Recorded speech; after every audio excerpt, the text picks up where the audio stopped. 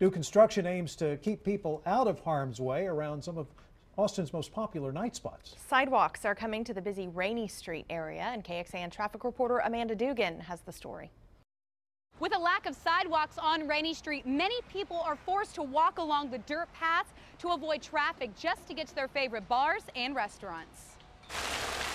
This week, the city is taking steps to fix that problem. Crews started construction on a sidewalk in the Rainey Street district along Davis Lane. Before, there was just a gravel pathway on the west side of the street. Nearby bar owner Ben Siegel thinks this will be great for the safety of patrons at night. I think the sidewalks finally getting installed uh, is a wonderful thing. It's been a long time coming. Uh, you know, with all the growth that Rainey Street's experienced, uh, we're experiencing a lot of infrastructure issues here. And so uh, being able to get pedestrians off the street and onto sidewalks is going to benefit them from a safety perspective and also, I think, help with traffic flow. Crews are hoping to have construction wrapped up before Halloween and F1, which fall on the same weekend this year. Now, the city's overall goals are to have the majority of sidewalk improvements completed between Davis Lane and River Street by the winter holidays. In downtown Austin, Amanda Dugan, KXAN News.